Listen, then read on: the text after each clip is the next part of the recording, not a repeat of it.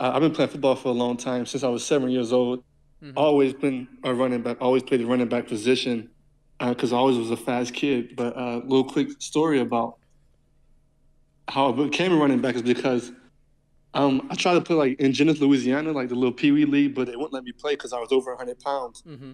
So like if I was over 100, I couldn't run the ball, so I had to drive down the road like 10 miles to play there, and they put me at running back, and I just played that position ever since then. Yep. And uh, so were you playing at a bigger weight then, since you had to drive down the road, and were you still just running over people even at a younger age? I mean, uh, yeah, and, and like you was I was bigger, but I wasn't that big. I was maybe like 105. Oh, you just missed no, the cut. I got you. I got you. Um, and then from there, with high school came, and obviously your decision to attend Clemson for your college career was an amazing one in ret- retrospect. But what was it at the time that led you to that choice with the huge number of options you had available? Uh, honestly, just a national championship game, and um, uh, watched the national championship game because I was kind of in between Alabama and Clemson. Mm-hmm. And then after the game, I had visited Clemson, and I just felt like Coach Dabo and Coach Tony Elliott were just stand-up guys, and the program really just sold itself, and it just worked out like that. Where I felt like it was all God's doing, and Clemson sold itself. Mm-hmm. No, for sure, and they definitely have a program that does that, and uh, it definitely paid off because um, you wound up having a historic career at Clemson, leading the team in rushing each season, going to the college football playoffs four times, winning the title in 2018, and setting numerous school and ACC records along the way. Looking back, what are you most proud of, and do you have any favorite memories that stick out to you? I would say what I'm most proud of is just um, just the friendships and the relationships that I built um, my years throughout Clemson. I feel like those relationships I built are going to last a lifetime, and I feel like uh, Coach Swinney and everyone who's there just had a great plan in place for the guys after football.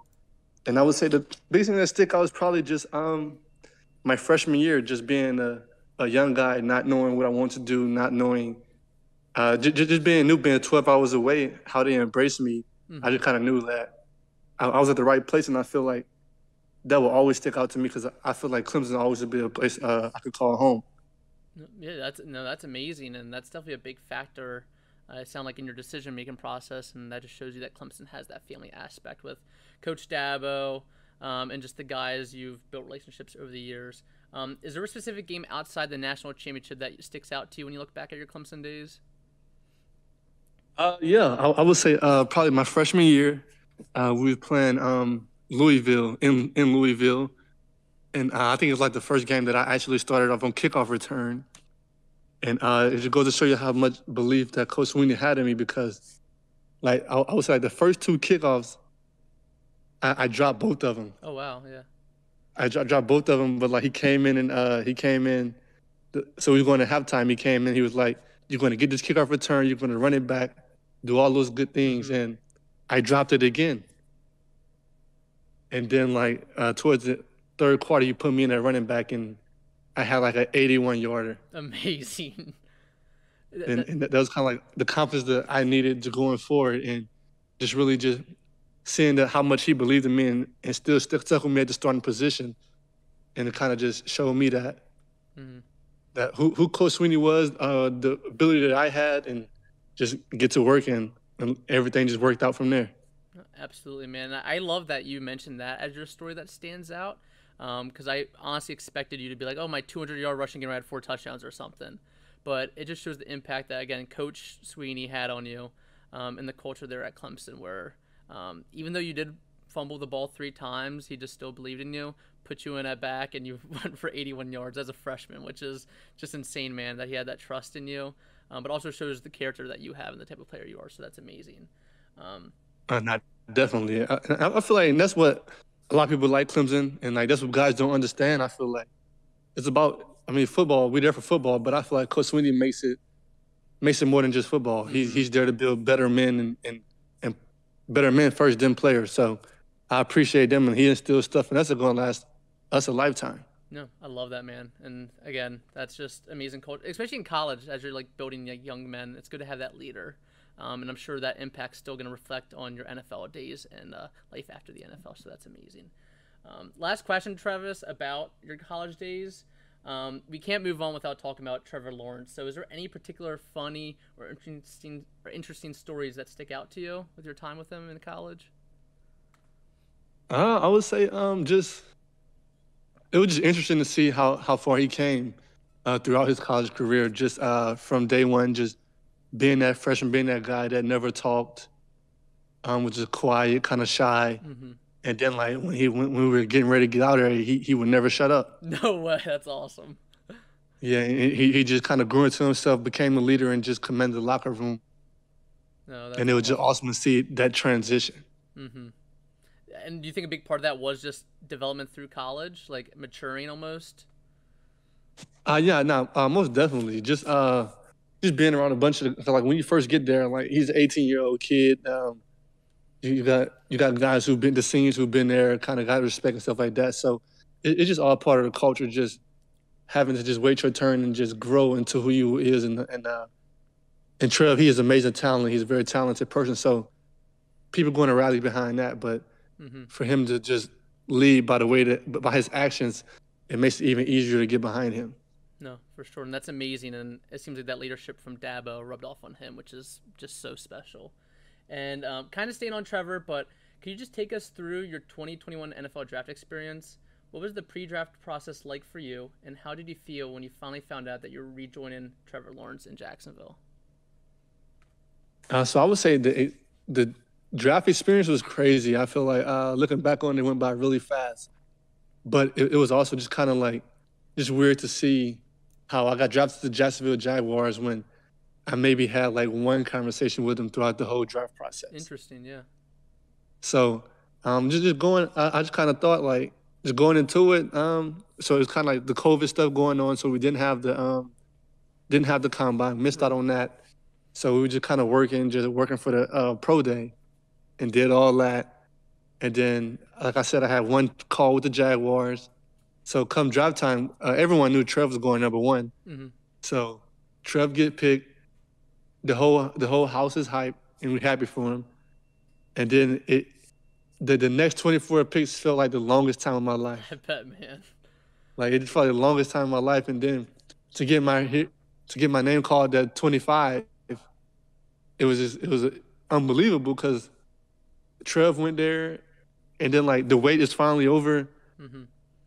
And I mean, I mean, I got Trev. I feel like me and him played three years at college together, so it'd be easier transition than to have somebody to help me through that transition. And we could lean on each other throughout the whole process. Mm-hmm. So I, I, was very excited to be with Trev, and like I'm like like you, I've seen him for three years. I know what his ceiling could be. I know the things that he can do, mm-hmm. and I feel like he's going to be special. And I mean, I want to be a part of that.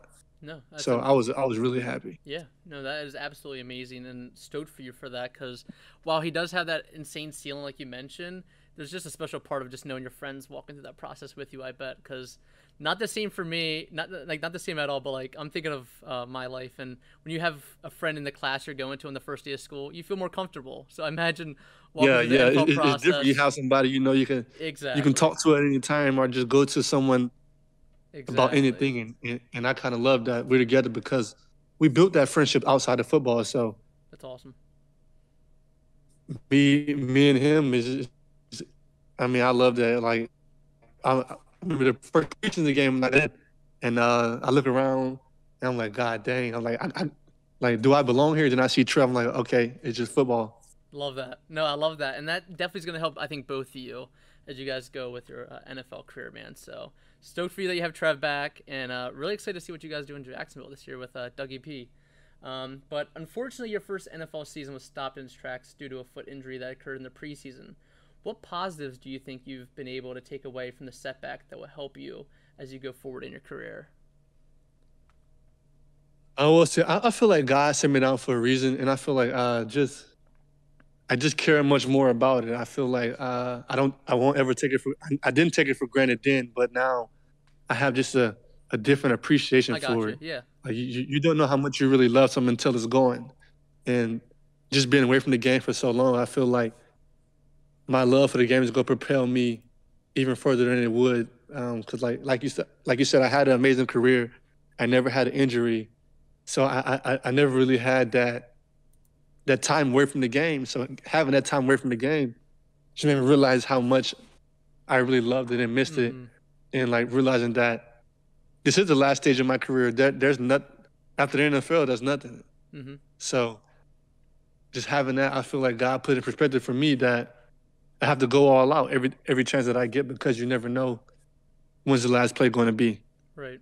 No, I, I love that mentality, man, and I think that mindset's important for you to definitely have too, because I'm sure in the moment it didn't make sense, but I can see you reflecting back on it, and you see there was a purpose behind it, man. So that is amazing.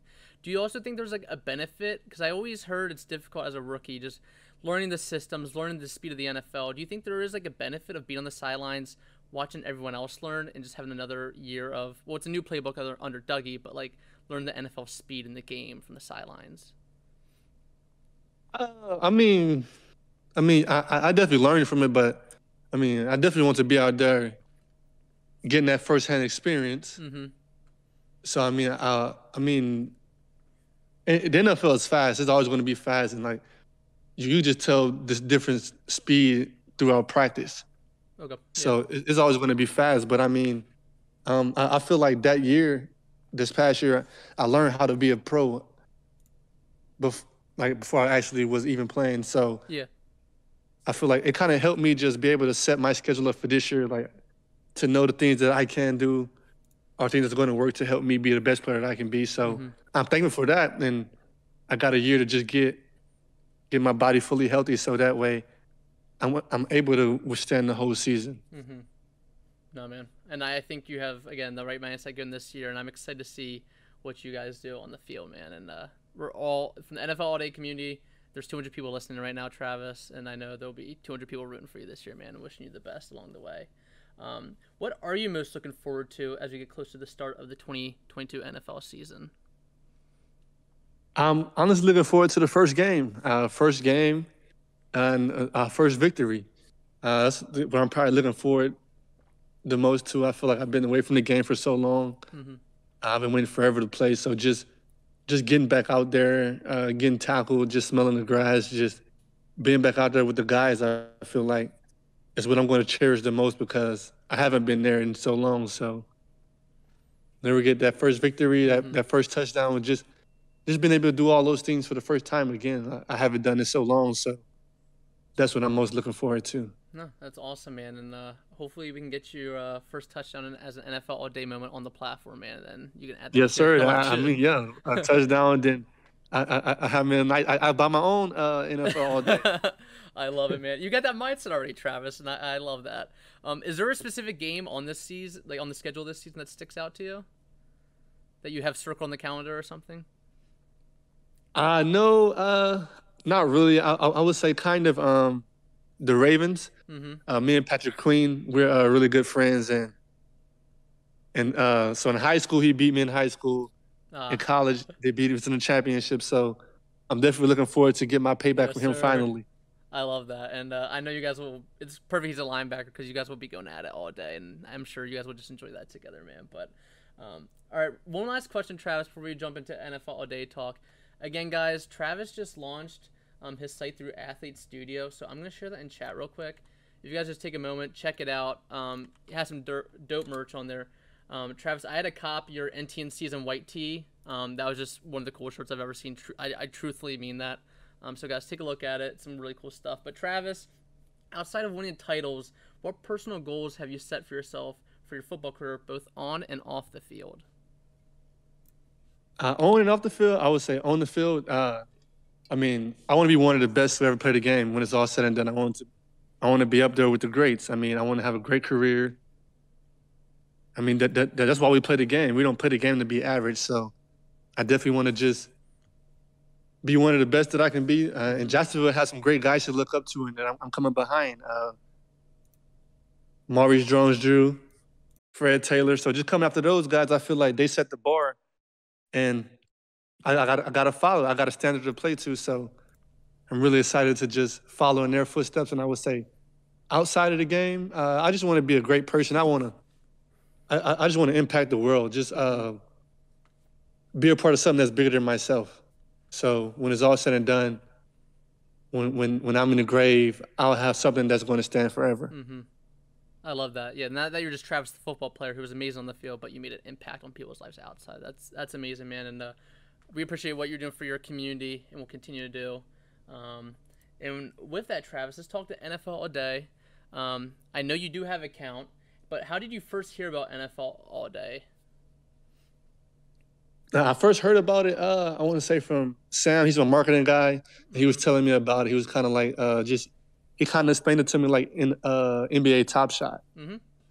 So that's how he kind of explained it to me, and then I hopped on the Zoom call, and they kind of explained it to us more. And and I was like, man, I gotta get some. I gotta get some. And then Love I set my account up and everything, and I did buy a couple of uh, cards. So just some guys I had liked. I had wanted to get the Trevor Lawrence card mm-hmm. but it was kind of it was it was it was expensive, and I was like, man, ho- ho- hopefully I just pull one out of his pull one out of the uh, box of cards one day. that that is a good way to try to get one. Um, it's funny because as we're speaking, there's people in chat like, yo, I gotta get me some more Trevor Lawrence moments, and I, I do know, like you said, they are not cheap. So um, take your time with that. Obviously, collect responsibly, but like you said, I see you have some Elijah Mitchells. I see you have a Tyson Campbell. What made you go after those guys? I, went after Elijah Mitchell because I feel like I, he's going to be a great player. I feel like I, I watched him with the 49ers and just I love his style. And I feel like no one really knows about him right now.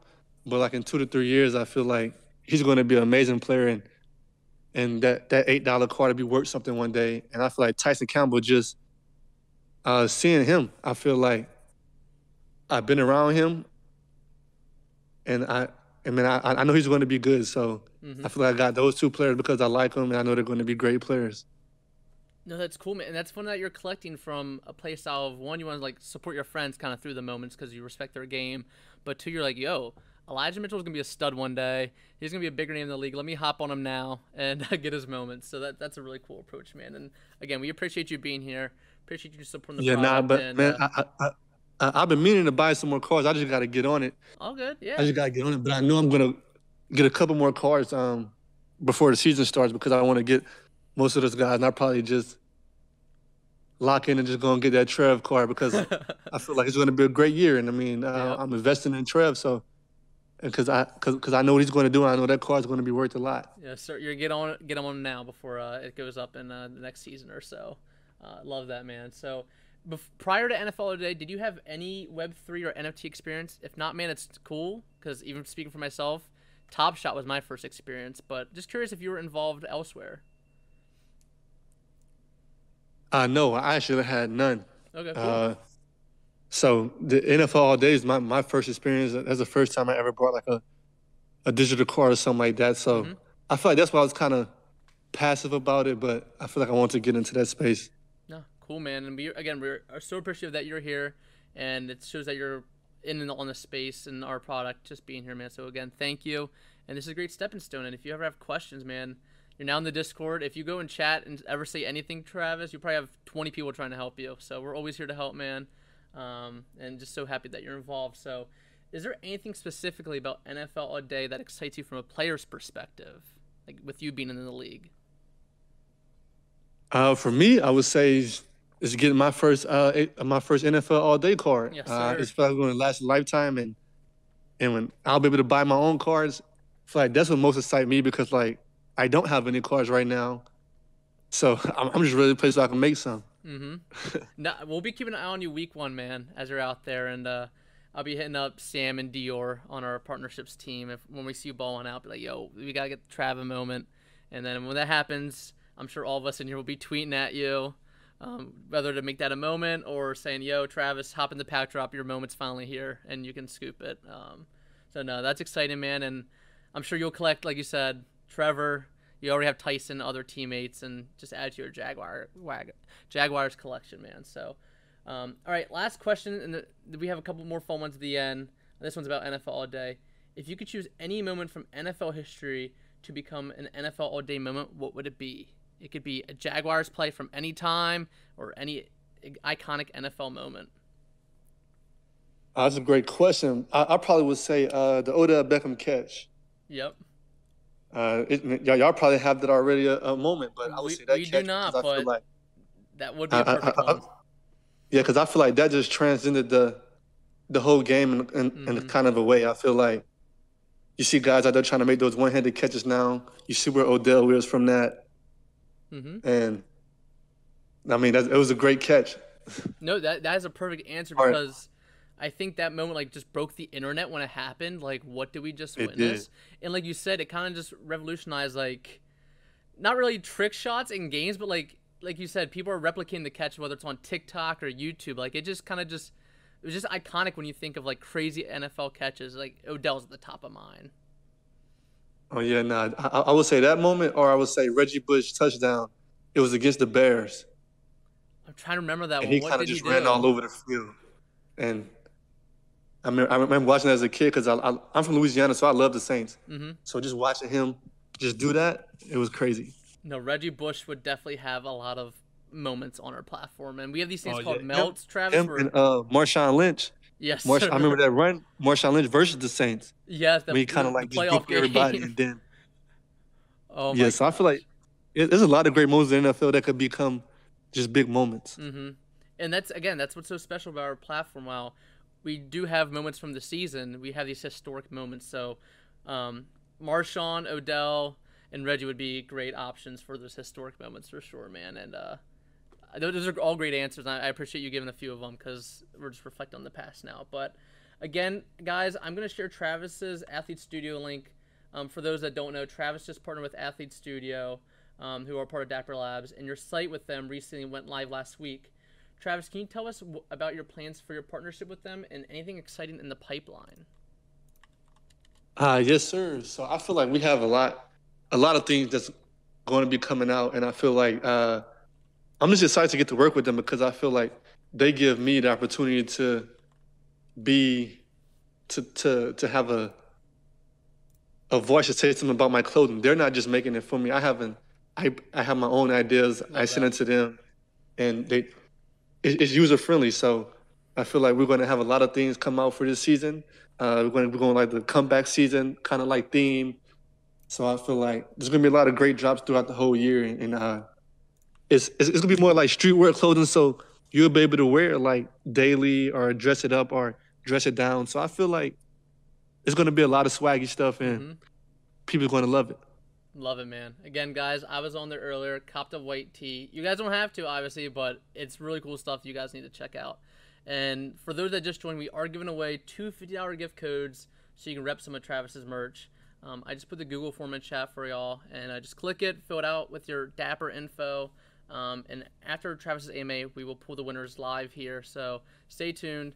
Um, but Travis, I had to share the story with you real quick. This is the last question as we announced your AMA, I got a message on Discord, and I just couldn't believe this. But it's a guy named Alex, and he shared a story on how you impacted their life. Alex and his wife are FSU fans, but when they watched the Clemson Alabama championship game at a bar earlier in the relationship, they were immediately impressed with your running and loved your name. Both Alex's father and father-in-law were named Stephen, and after learning that Etienne in French is French for Stephen, him and his wife just laughed and were blown away by it and saw it as a sign. So three years later, they now have an 18 month old named Etienne who's running circles around them. I just thought it was Yo, crazy that nah, they that they that's just, amazing. Nah, that's crazy. I know. Uh, I mean, I, I feel like that's just that, that this affirmation that God is real. Because I feel like me just playing a football game, uh, being able to impact people by the way that I play the game. I feel like that's why I'm ready to get back to the mm-hmm. game because people watch me and they find inspiration through seeing me play, and I'm just being me. I'm just doing what what I love to do. So I love that I can impact someone like that. No, I love that man, and such a cool story. And I can see Alex is tuning in right now. So shout out Alex. Thank you for reaching out, and we hope uh, little Etienne's doing well and will be a beast on the. Oh uh, yeah, field. yeah. You gotta keep me updated. Keep me updated on him. Yeah, we'll, we'll, we will, Travis, uh, once he picks up the ball and starts running around. But Travis, this has been so much fun, man. Thank you. Um, again, guys, check out him on socials. I will link those right now, as well as his athlete studio page. But Travis, good luck this season, man. We're all rooting for you, and uh, we'll let you know when you get that NFL day moment because it's it's bound to happen.